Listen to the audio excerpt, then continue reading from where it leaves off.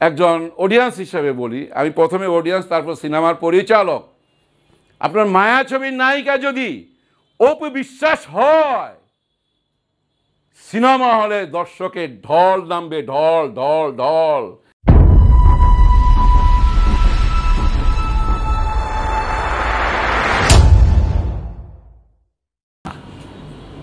আসসালামু আলাইকুম। প্রতিদিন আসা হয় না এখন। ওই যে নাইন এম এম। আমার ছবির নাম, সেটা নিয়ে ব্যস্ত। তো ইউটিউব তো একটা নেশার মতো, বুঝছেন? ফেসবুক নেশার মতো, যেটুক সময় পাই, দেখি। দেখতে যেয়ে দেখলাম যে মহাগ্যাঞ্জাম আমাদের একজন প্রডিউসার যার আমি নাম নেব না, কারণ উনি নাম নিলে মাইন্ড করেন। ওনার নাম নেওয়ার কারণেই এই চারজন ইউটিউবার মামলার মুখামু- মুখামুখি। মামলা হয়েছে কি না আমি জানি না।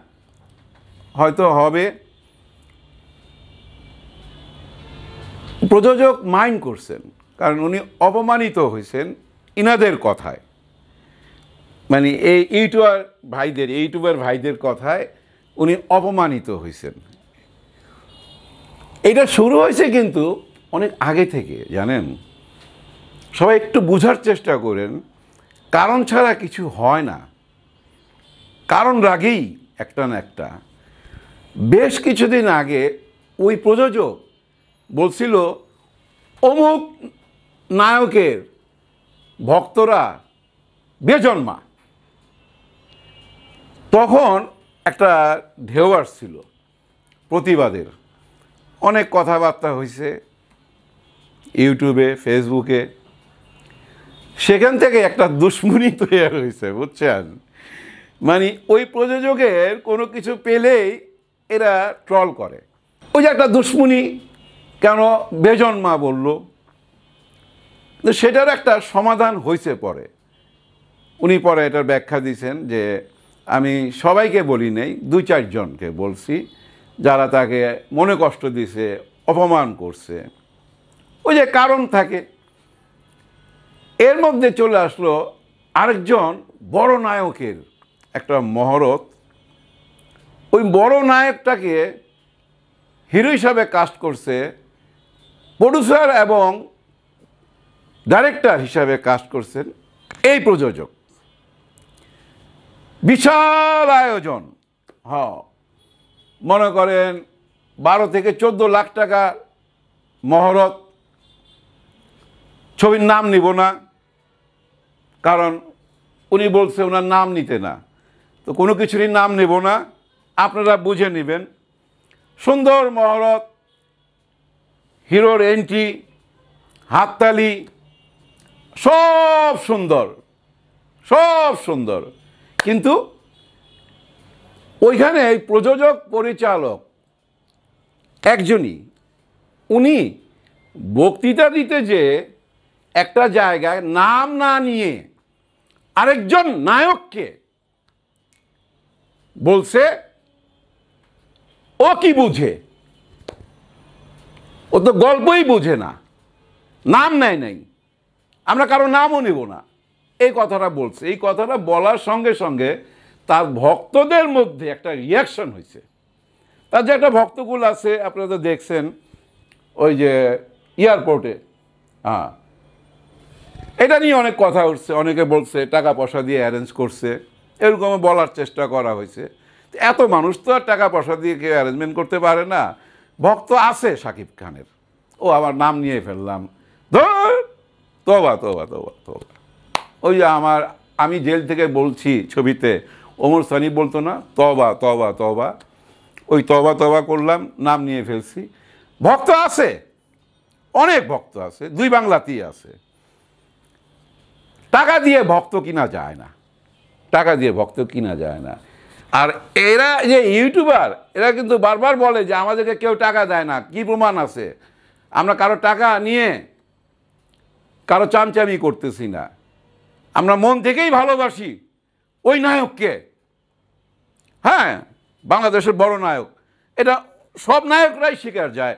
আমি আপনি শিকার না গেলে কি হবে? নায়করাই শিকার যায়। শাকিব খান নাম যখন নিচে নিয়েই ফেলাই, শাকিব খান সুপারস্টার। এটা সবাই শিকার যায়। এবং একজন সুপারস্টারের মধ্যে যেসব গুণাবলী, তার মাঝে আছে। বর্তমানে হয়তো একটু মাইন্ডটা চিপায় আছে। যার জন্য একদম চুপ আছে।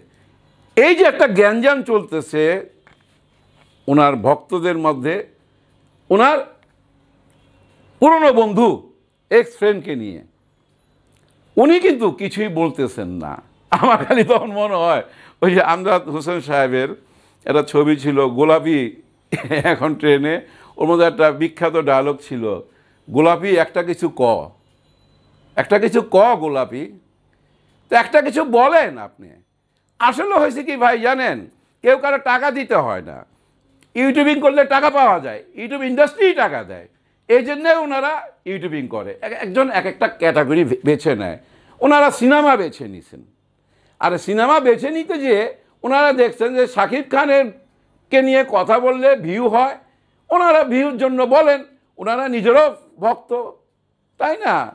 সাকিবিয়ানদের নিয়ে চলাফেরা করেন। ওনাদের চ্যানেলগুলো এরকমই, কিন্তু আমাদের সিনেমার তো। শাকিব খান কি আমাদের সিনেমার না? আমাদের সিনেমার একজন। এখন ওনাদের বিরুদ্ধে যদি মামলা হয়ে যায়, ওনাদের যে বয়স, বেশি বয়স না, এ অল্প বয়সে জেলে টেলে যদি ঢুকে যায়, একটা বিপদ কিন্তু। ওনাদের পরিবারের উপর আঘাত আসবে। ওনারা নিজেরা মানসিকভাবে অন্যরকম হয়ে যেতে পারে ভাই, বুঝছেন না?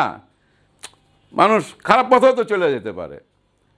কি দরকার? ওনাদের ইদানিংকালের ভিডিওগুলো আমি দেখছি, ওনারা কিন্তু ওই প্রযোজককে ভাইজান ভাইজান সম্বোধন করতেছেন এবং এমনও এক বলছেন যে আমরা এটা মিটমাট করতে পারি, এটা মামলা মোকদ্দমা কেন যাবেন? আসলে বুঝিনি তো, অল্প বয়স, একটু ঘাবড়াইছে। আবার কেউ কেউ সাহসের সাথে তীব্র প্রতিবাদ করতেছে। বলতেছে যে, আমরাও মামলা করব। আমাদেরকে বেজন্মা বলা হয়েছিল কেন? উনি একটা মামলা করলে আমরা একশোটা করব। এসব চলতেছে। আমার একটা অনুরোধ ওই প্রযোজকের কাছে। দেখেন, দিন শেষে আপনার লাভটা আপনি বুঝা নেন আমার কাছ থেকে। বাংলাদেশে অনেক প্রডিউসার আছে। কজন তো চিনে মানুষ? আপনাকে সবাই চিনে। হয়তো ট্রোল করছে, হয়তো আপনার সম্বন্ধে নেগেটিভ কথা বলছে। কিন্তু দিন শেষে জয় তো আপনারই, পরিচিতি তো আপনারই বাড়ছে। ওই যে একজন নায়ক, বড় ব্যবসায়ী, কোটি কোটি টাকা খরচ করে নিজের নাম, যতখানি প্রচার করছে, যতখানি চিনাইছে আপনি তো কোনো টাকা খরচ না করেই তার চেয়ে বেশি পপুলার এখন, বর্তমানে। কারণ, আপনি একজন সুপারস্টারের ফ্রেন্ড ছিলেন, আরেকজন সুপারস্টারের ফ্রেন্ড হয়েছেন এখন। আপনার মধ্যে গুণ আছে তো। গুণ না থাকলে এত ডাইরেক্টর থাকতে, ওই যে উনি, বড় স্টার দেশ বিদেশের ডাইরেক্টরদের আন্ডারে কাজ করছে, অনেক জ্ঞানী। উনি আপনাকেই বাইসা নিছে। আপনি প্রযোজক হিসাবে বাইসা নিছেন হিরোকে, হিরো কিন্তু পরিচালক হিসাবে আপনাকেই বাইছা নিছে। জয়টা কি আপনার না? সো একটুখানি ব্রেন খাটায়েন। সামনে আপনার অনেকগুলা ছবি আসতেছে। এই ছবিগুলোর প্রচার দরকার।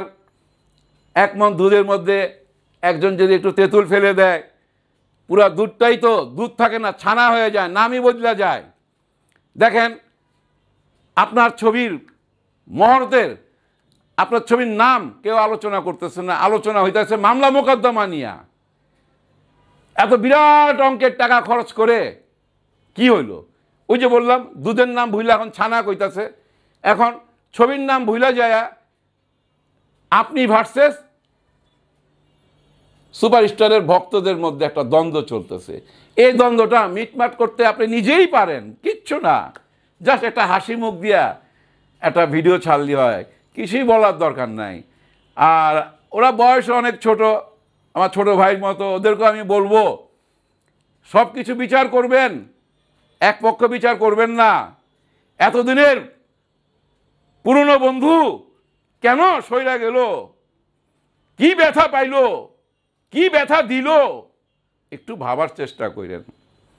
আর আমার সুপারস্টারের কাছে, শাকিব খানের কাছে, আমার রিকোয়েস্ট আমি জানি আপনি এখন যদি আপনার ভক্তদের পক্ষ হইয়া কিছু বলেন, এতে এই ইউটিউবাররা আরও উস্কানি পেয়ে যাবে আরও ঝাঁপায় পড়বে।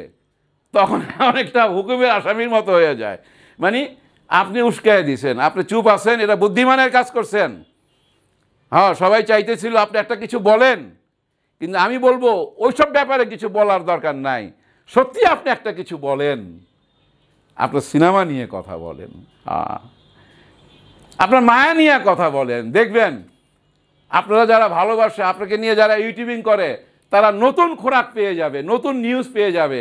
আপনি কোনো নিউজ দিচ্ছেন না, আসার পর বলছিলেন, সাত দিনের মধ্যে, দশ দিনের মধ্যে নতুন নতুন নিউজ দিবেন। মাস পার হয়ে গেছে, কোনো নিউজ দিচ্ছেন না, কোনো নিউজ পাওয়া যাচ্ছে না বইলা। তাদের চ্যানেলকে তো তারা বাঁচায় রাখতে হবে। ওই যে ঝগড়া বিবাদের মধ্যে জড়ায় গেছে। আপনি একটা কিছু বলেন।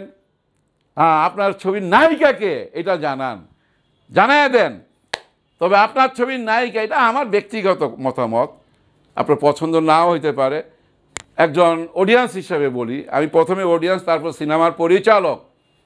আপনার মায়া ছবির নায়িকা যদি অপু বিশ্বাস হয়, সিনেমা হলে দর্শকের ঢল নামবে, ঢল ঢল ঢল। বাংলা সিনেমার প্রতি মানুষের আকর্ষণ বেড়ে যাবে। এটা আমার ধারণা। আপনারা সাংসারিকভাবে কি মিশবেন কি মিশবেন না আপনাদের ব্যক্তিগত লাইফ নিয়ে আমার কোনো মাথা ব্যথা নাই। আপনারা জাস্ট পর্দা একসাথে কাজ করেন। কারণ আপনাদের তো একটা মিল বন্ধন আছেই। আপনাদের একজন সন্তান আছে, সেতু আছে। এই সেতুর উপর দিয়ে তো আপনাদের চলাফেরা করতেই হবে। এই সন্তান তো আপনাদের প্রাণ কলিজা, কলিজার টুকরা, তাই না? সো যদি আপনারা জুটি হয়ে মায়া ছবিটা অন্তত করেন, একটা ছবি করেন, আমার কথাটা দেখেন। কীভাবে দর্শকের ঢল নামে? সবাই ভালো থাকবেন, সবাইকে সবাই ক্ষমার চোখে দেখবেন, সবার জন্য সবাই দোয়া করবেন। আল্লাহ হাফিজ।